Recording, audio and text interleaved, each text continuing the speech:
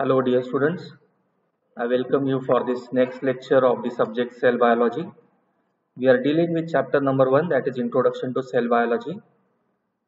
Today we are going to study the fifth topic that is structure of the eukaryotic cell in which we will study the plant cell.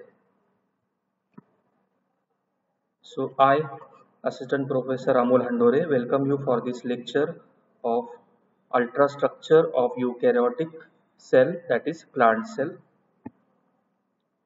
Let's take a brief recap. In the last lecture we have studied the ultrastructure of a prokaryotic cell. We have studied what are the different parts or structures which are present in a typical prokaryotic cell. The study objective for today's lecture are we will understand the basic characteristics of a of an eukaryotic cell and then we will study the ultrastructure of a plant cell. So let's begin with today's topic. First we will understand some basic characters of eukaryotic cell. So in last lecture also we have discussed that eukaryotic means U means good or rather U means true and karyon means nucleus. So these are the cell which possess the true nucleus now these eukaryotic cells, they are present in algae, they are present in the fungi. In animals, we can see them from protozoans to the higher mammals. Also, these eukaryotic cells are present in the plants. Now, if we see, since these cells possess the nucleus, the genetic material which is in the form of DNA remains well separated from the cytoplasm and it is covered by a double layered lipoproteinous nuclear membrane. So DNA is present inside the nucleus which is covered by a nuclear membrane.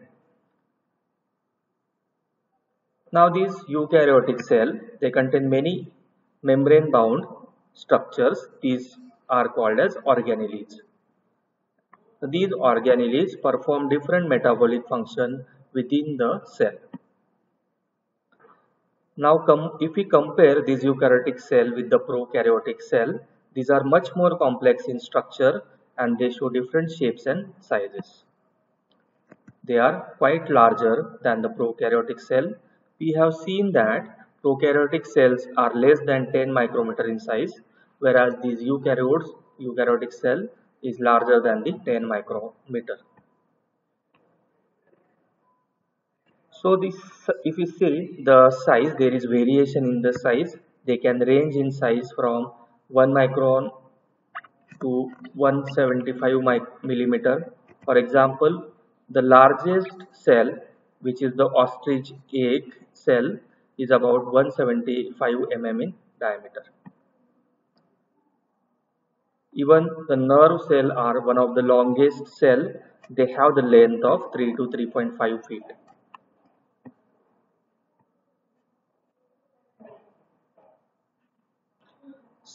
If you see some more characteristic of the eukaryotic cell, cell wall may or may not be present. For example, in plant, the cell wall is present, but in animal cell, the cell wall is absent. Like our body requires skeleton. Similarly, the cell also require a type of skeleton which is known as cytoskeleton. And the cytoskeleton is composed of different filaments like microfilaments, intermediate filaments and microtubules.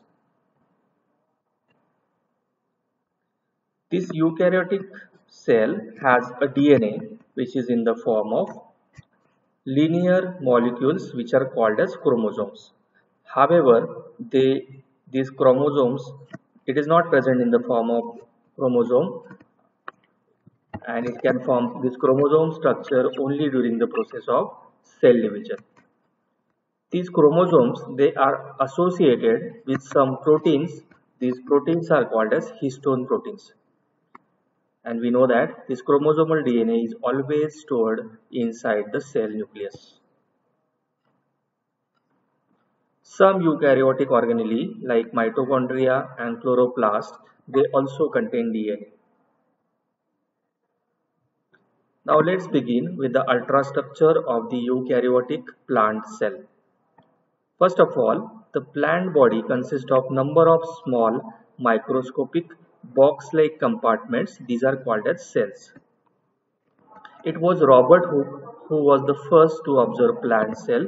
So he was studying piece of cork under the microscope. This cork is nothing but which is used to bottle uh, of the wine bottles and these a section of these cork was taken and when he observed it under the microscope he could observe some compartment like structures to which he called them as cells. So these honeycomb like structure which he saw under the microscope were referred as cell. In Latin, cell, this cell or cellular means small compartments. Now, plant cell also contains structures such as cell wall, plastids and the vacuoles are also present which are very large in size.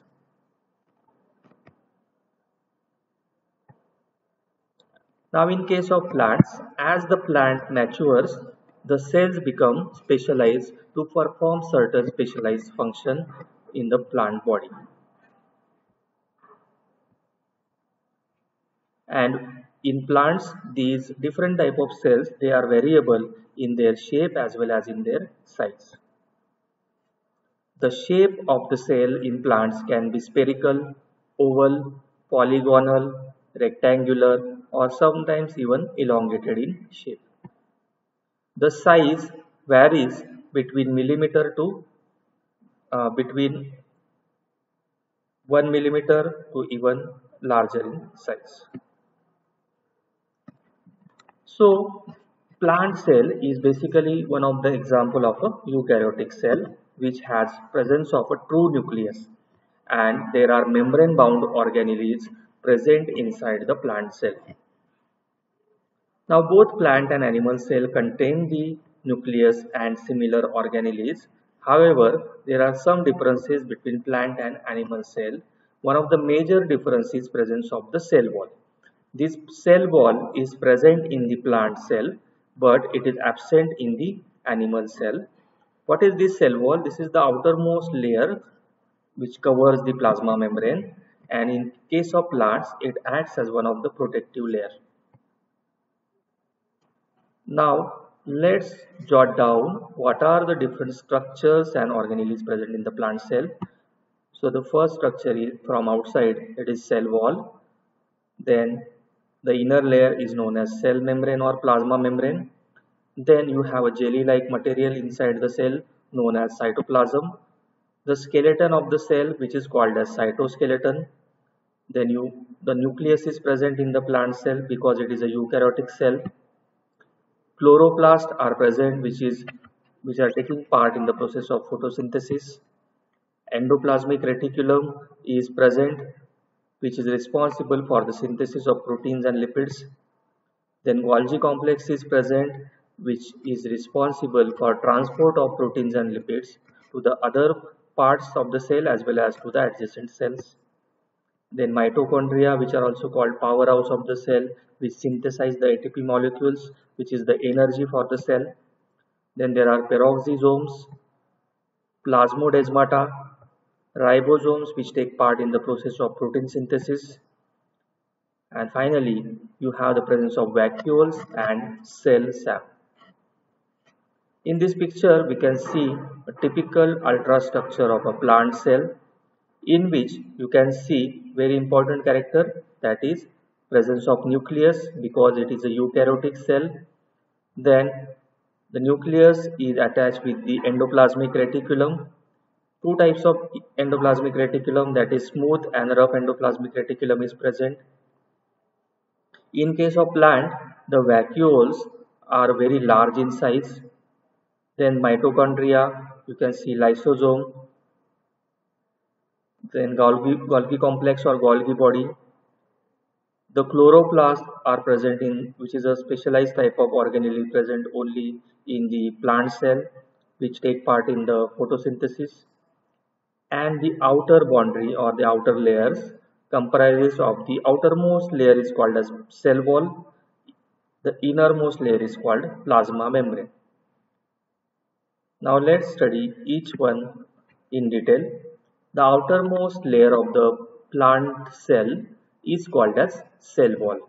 Now this cell wall is a rigid and elastic membrane which covers the entire cell.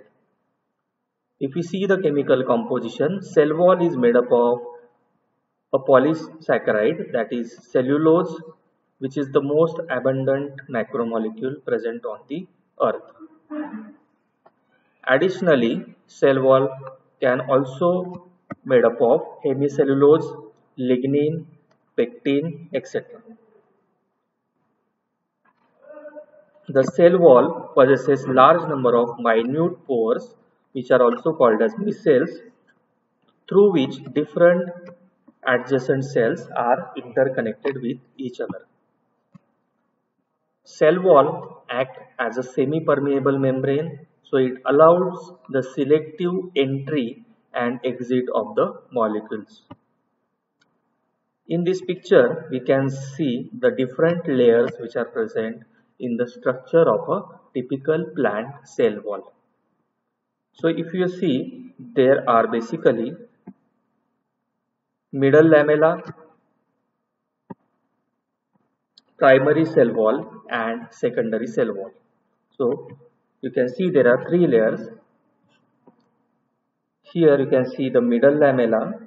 Middle lamella is the outer wall of the cell and it is shared by two adjacent cells. So here you can see one cell, this is the second cell.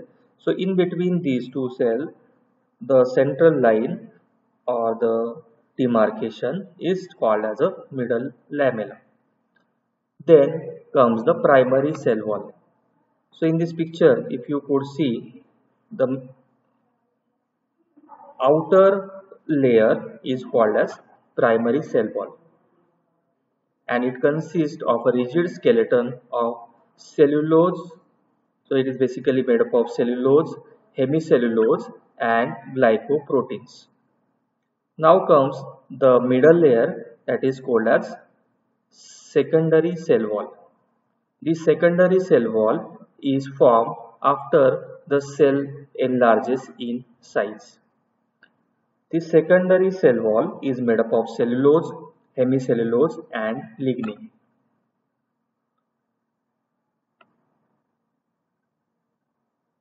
The secondary cell wall can also be layered.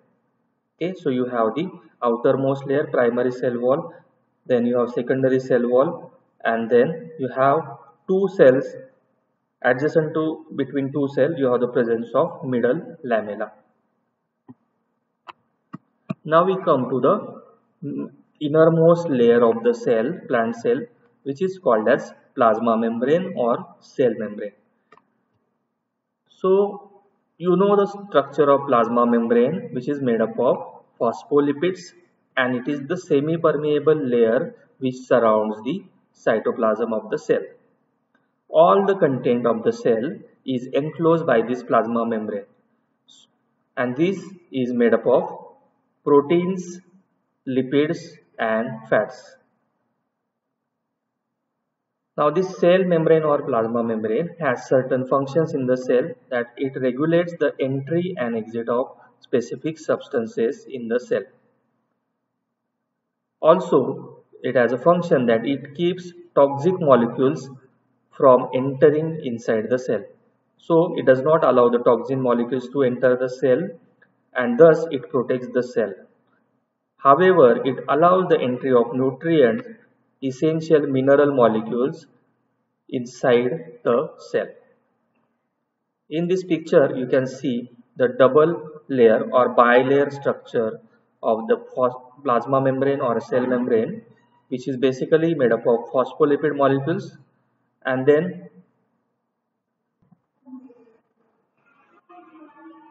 and then there are present of different proteins which span this plasma membrane.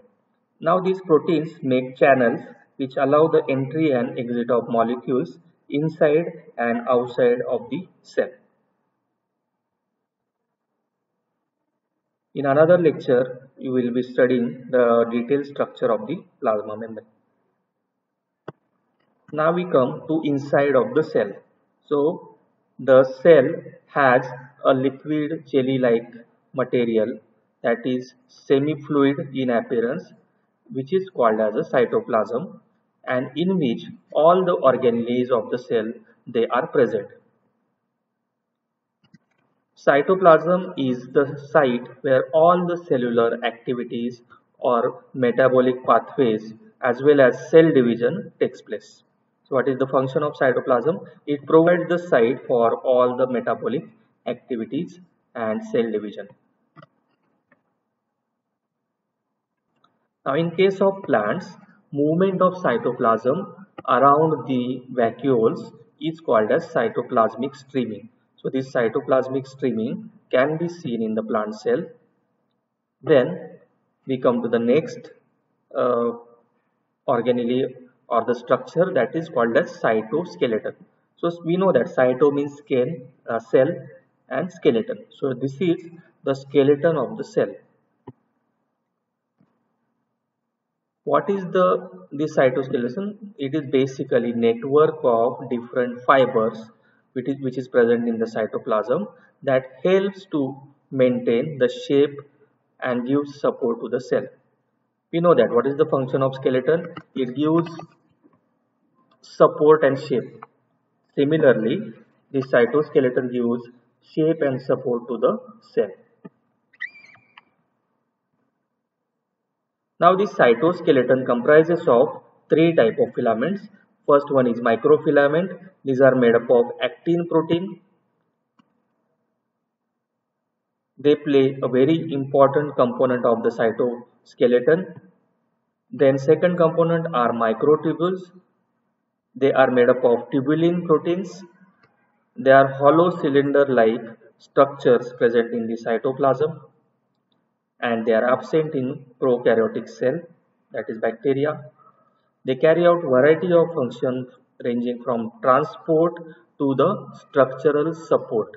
Okay, so the basic uh, function of these microtubules and microfilaments together they form what is called as cytoskeleton which gives shape and support to the cell. In this picture, you can see these thread-like structures in which these green lines are microtubule and these pink yellow lines indicate actin filaments. So together these give the shape and structure to the plant cell. Now we come to the very important part of the plant cell that is called as nucleus. Now we know that plant cell is eukaryotic cell so it has a well developed spherical highly specialized nucleus which is embedded in the cytoplasm.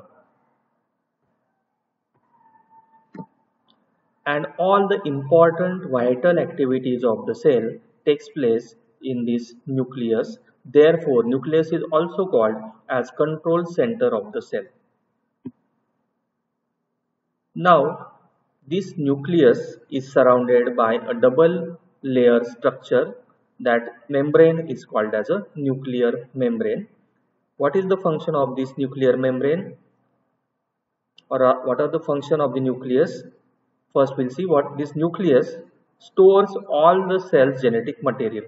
We know that the genetic material of the cell is in the form of DNA. So DNA is enclosed inside the nucleus. So since genetic material is present, it coordinates all the cell's vital activities like growth, metabolism, protein synthesis and cell division. Now we see in this picture, we can see the structure of a nucleus Inside the nucleus there is another spherical structure is present which is called as nucleolus. In this nucleus you have the DNA in the form of chromatin fibers and this chromatin fiber contains during the cell division as chromosomes. So normally you will not find chromosomes but DNA normally is present in the form of chromatin threads. Now this nucleus is surrounded by a double layer structure that is called as a nuclear envelope. and on the top of the nucleus you find many such opening or pores. These pores are called as nuclear pores. So why these pores are present? Basically inside the nucleus there are various synthetic processes like synthesis of RNA takes place inside the nucleus. So that RNA should come out of the nucleus. So it comes out through these nuclear pores. Also you can see this nucleus is attached with the endoplasmic reticulum. So the nucleus comprises of outer layer that is we call it as a nuclear envelope or nuclear membrane or it is also called as karyotheca. Inside the nucleus there is also jelly like liquid part that is called as a nuclear sap or nucleoplasm or it is also called as karyolymph. Then at the center I have shown you this the nucleolus is present and chromatin threads which is which is nothing but the genetic material of the cell. So we have discussed this nuclear membrane which is a bilayer made up of lipid bilayer. Nucleolus within the nucleus helps in the synthesis of ribosome. So ribosomes are synthesized in the nucleolus which is present in the nucleus. And on the surface we have seen those nuclear pores which are for the movement of entry and exit of the molecules. DNA is normally present in the thread-like structure that is called as chromatin and we can see the chromosome only during the process of cell division. Number of chromosome for each nucleus is constant and this is known as chromosome number. Okay, so remember what is chromosome number? That number of chromosome in each cell nucleus is always constant which is called as chromosome number. Now we move to the sixth organelle in plant cell that is known as chloroplast. So what is the function of this chloroplast? These chloroplasts have the presence of chlorophyll pigment which, which takes uh, which takes part in a process that is known as photosynthesis. And we know that what is photosynthesis? It is a process in which the plants synthesize their own food in the form of sugars. So these are the specialized organelles that carry out the function of photosynthesis now if we see the inside structure of these chloroplasts, if we see the take the section, we will see there are many stack like structures. So it is a, a stack of the many structures. A single disc, there are many discs which are one upon present one upon each other and that form a single stack. And one such disc is known as thylakoid disc. Many thylakoid discs, they pile one upon each other to form a structure that is known as that is known as granum. So granum is nothing but a stack of thylakoid disc. Now these thylakoid or these two such granum they are connected with each other. That connection is called as stromal lamellae.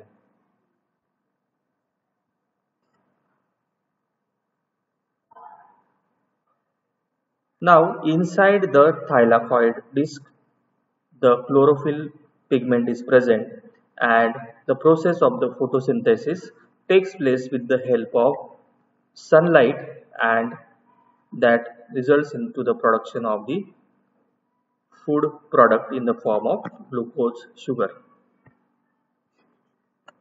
So this in short we can say that this chloroplast is shaped like a disc and it has a liquid part inside is called as a stroma.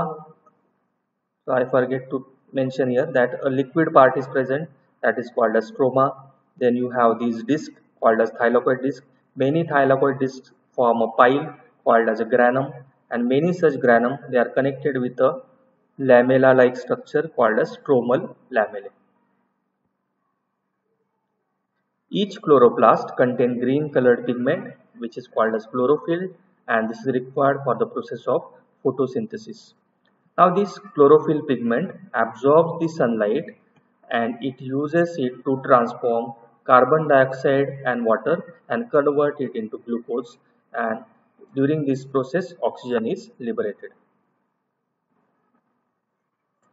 Now along with chloroplast there are another type of plastids present which are called as chromoplast. So what are these chromoplast? Chroma means color. So these organelle basically impart color. So you see different colored flowers. For example, this in this picture you can see a pink flower which has presence of these chromoplast. So these are heterogeneous colored plastids responsible for pigment synthesis. So in this flower, these plastids are producing pink color, therefore this flower appears pink in color. Also, they these chromoplasts they are used for storage in photosynthetic organisms. So these chromoplasts have different colors like red, orange, yellow, depending upon the colored pigment which is present in these. Also it provides color to the flower not only flowers but the fruits also.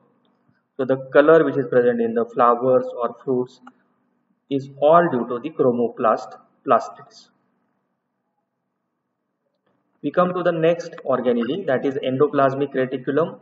In short we call it as er so this er is connected via the nuclear pores we have seen on the nucleus there are many pores and through these pores they are connected to the endoplasmic reticulum. In this endoplasmic reticulum, there are two types of endoplasmic reticulum.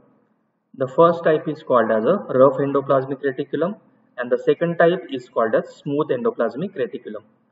Now what is the difference? The rough endoplasmic reticulum has the presence of ribosomes on its surface whereas the smooth endoplasmic reticulum do not have ribosomes on its surface.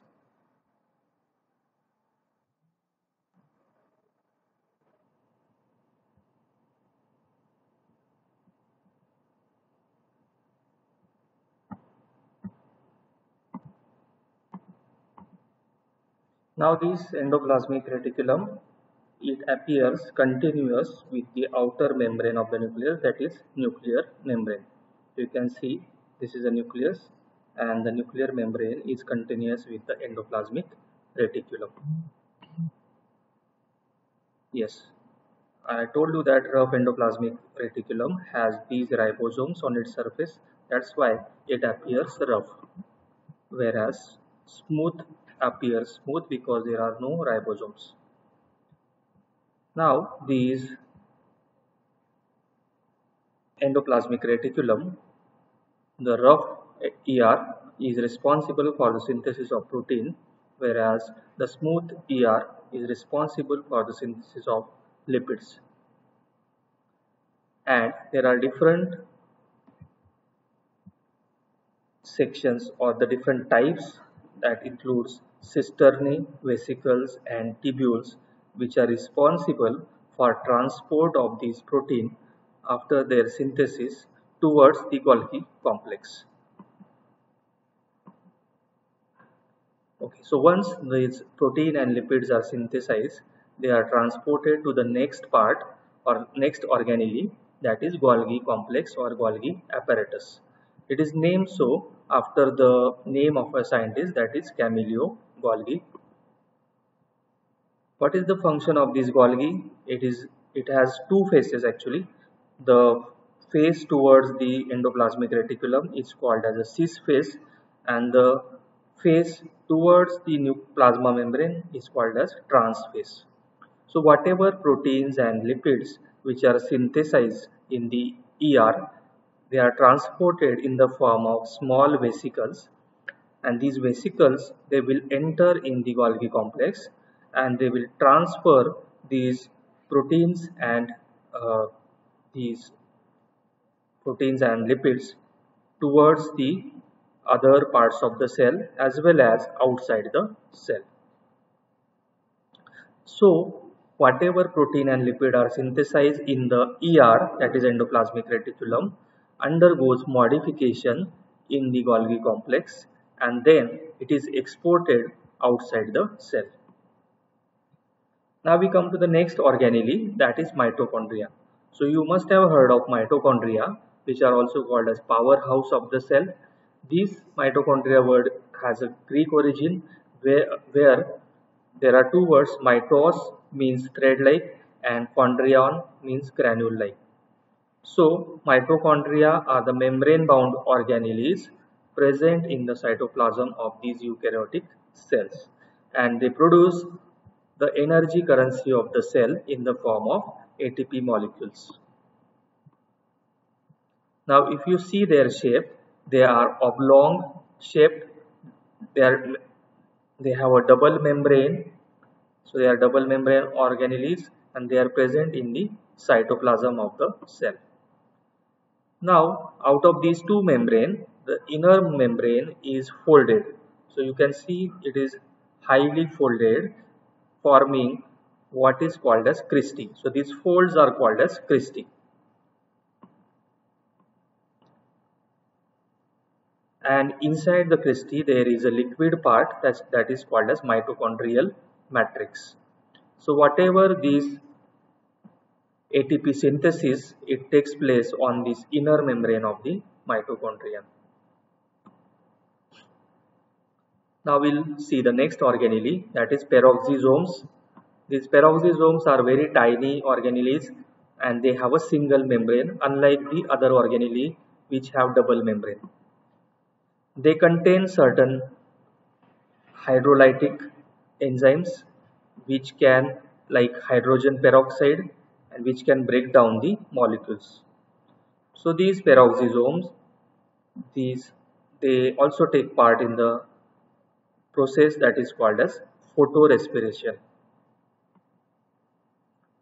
Next organelle are called as plasma or the structures are called as plasmodesmata. Now these plasmodesmata, these are the pores or channel between plant cell walls. Okay, so between two plant cell wall there are these channel-like structures called as plasmodesmata. What is the function of these plasmodesmata? They allow the communication between the adjacent cells. Okay, so the communication signals can pass between the adjacent plant cell with the help of these plasmodesmata. Next organelle are the ribosomes. Now these ribosomes, they are made up of two components 60% of them is RNA and 40% protein.